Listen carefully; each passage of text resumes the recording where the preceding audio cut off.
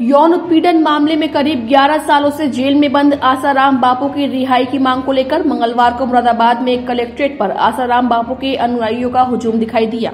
इस दौरान आसाराम बापू के भक्तों ने उन्हें निर्दोष बताते हुए उनकी रिहाई की मांग को लेकर जमकर नारेबाजी की। इस दौरान आसाराम बापू के अनुयायी आशाराम बापू को आज़ाद करो भी support Asaram Bapu.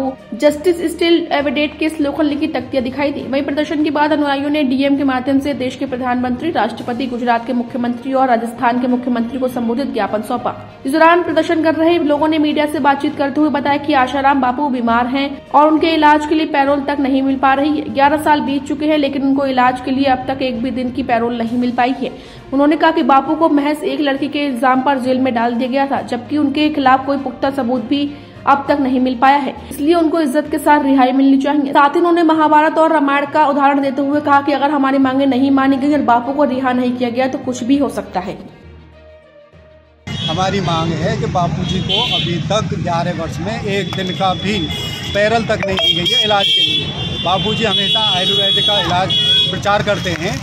तो तो भी बाबूजी को आयुर्वेदिक इलाज कराने के लिए एक दिन की भी पैरल नहीं है। हम चाहते हैं कि बाबूजी को तुरंत इलाज के लिए, आयुर्वेदिक इलाज के लिए पैरल दी जाए और बाबूजी को एक भी निर्दोष नहीं, सिर्फ़ लड़की के कहने मात्र से, मीडिया में ये सब उल्टा सीधा चलने मात्र से बाबूजी को सज़ा सुना दी गई है। लेकिन एक भी एविडेंस नहीं दे पाए वो। हमारे पास सैकड़ों क्या हज़ारों एविडेंस है, जिससे है कि बाबूजी बिल्कुल निर्दोष हैं। बाबूजी को सत्सम्मान तुरंत रिहा किया जाए हमारी अगर आपकी मांग पूरी नहीं होती है तो आगे आपका क्या कदम रहेगा? फिर हमारे साधक स्वतंत्र हैं आगे वैसे हमें विश्वास है कि हमारी मांग ज़रूर सुनी जाएगी। पूरे देश में ये रैली और धरना सब चल रहे हैं तो हमारी मांग ज़रूर सुनी जाएगी। नहीं सुनी जाएगी तो फिर आगे फिर देखा जाएगा। पूरा विश्वास है। प्रार्थना कर रहे हैं। अभी प्रार्थना है जैसे जैसे प्रार्थना समझो रामायण में भगवान ने हनुमान जी को भेजा शांति दूत बन के महाभारत में ए, उनको कृष्ण जी को पाँच गाँव मांगने के लिए भेजा।